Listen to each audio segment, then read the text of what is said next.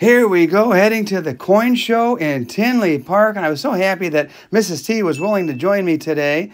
And here are the sights and sounds. Uh, the site you see there is a display case.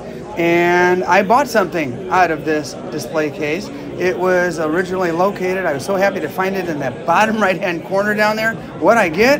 This right here, this PCGS Rattler. If you happen to like videos like this, hit that like button. And if you want to see more videos like this, be sure to hit that subscribe button. Now, I'll tell you what, I love these rattlers. They came around at the dawn of third-party coin grading, which is really cool.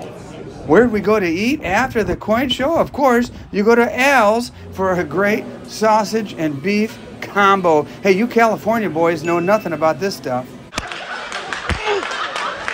I'm just having a heart attack.